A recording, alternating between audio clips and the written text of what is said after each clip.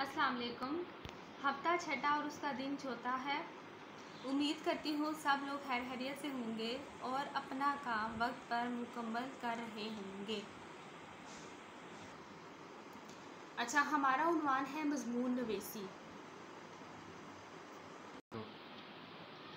मकासद हैं तलबा पाकिस्तान के इलाकों की खूबसूरती पर मजमून लिख सकेंगे।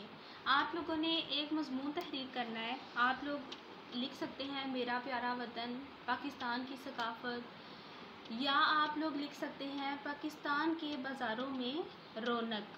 ठीक है? ये हमारा मकसद है। उसके बाद हमारा कामयाबी का मैार है कि तलबा 200 ता 250 अल्फाज पर मुश्तमिल मजमून खुश ख़त लिखें, खुश ख़त से मुराद है, साफ़ लिखाई करें। आप लोगों ने साफ़ सुथरे राइटिंग में मजमून लिखना है।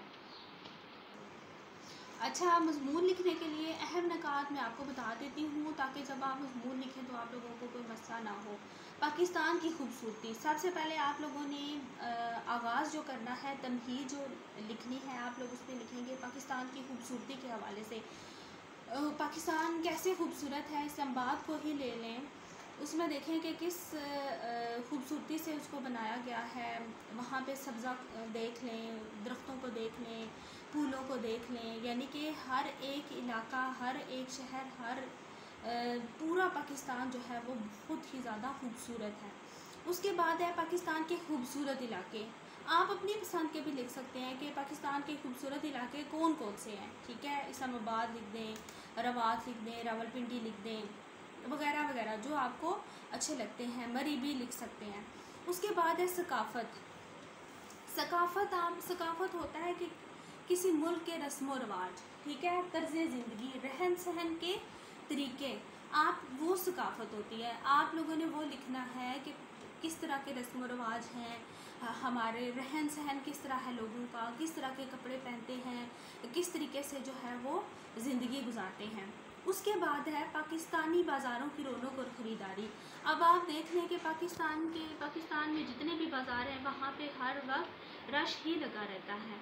और कहीं ना कहीं से लोग जो हैं वो ख़रीदने के लिए, ख़रीदारी करने के लिए आते हैं और ढेरों ढेर कपड़े, बाकी सारी चीज़ें जो हैं, जो उनको ज़रूरत होती हैं, वो ख़रीद कर लेकर जाते हैं। तो पाकिस्तानी बाज़ारों में हर वक्त रौनक ही लगी रहती है।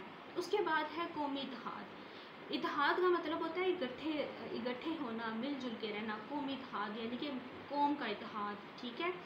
यानी कि कौम हमारे किस तरीके से रहती है इतिहाद से रहती है, जैसे अल्लाह ना करे कोई जंग हो या कोई भी मसला हो, कोई भी परेशानी हो तो सब पाकिस्तानी मिलजुल कर एक दूसरे का साथ देते हैं और अपने मुल्क की हिफाजत के लिए किसी भी हद तक जा सकते हैं। उसके बाद है हासिल बहस आप ये पूरा मजमून लिख चुके हैं। आपने ये बताना है, आपने, आपको इसमें से कौन सी बात अच्छी लगी? या आप ये बता सकते हैं कि मेन मेन पॉइंट्स उसके आप दो तीन उठा के इसमें लिख सकते हैं। या अपनी तरफ़ से भी अगर आप कोई बात लिखना चाहते हैं तो वो भी इसमें लिखी जा सकती है। आज की सरगर्मी है। पाकिस्तान मेरा प्यारा वतन पर मजमून ये आसान तरीन टॉपिक है जो मैंने आप लोगों के लिए सिलेक्ट किया है। आप लोग इस पर मजमून लिखेंगे और उसके बागात को पाकिस्तान में जो भी बागात हैं उनको डिस्कस करें। आप दरख्तों को डिस्कस करें, इलाकों को डिस्कस करें और वतन, अपने वतन की खूबसूरती को डिस्कस करें। हर एक चीज़ को आप हर हवाले से डिस्कस कर सकते हैं।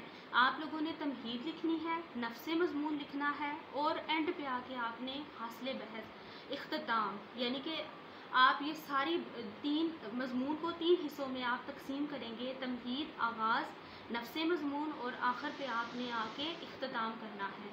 और अच्छे तरीके से लिखना है हेडिंग्स नहीं देनी, ये की पॉइंट्स आपको दिए हैं, आप इनके मदद से मजमून अच्छे तरीके से लिख सकते हैं।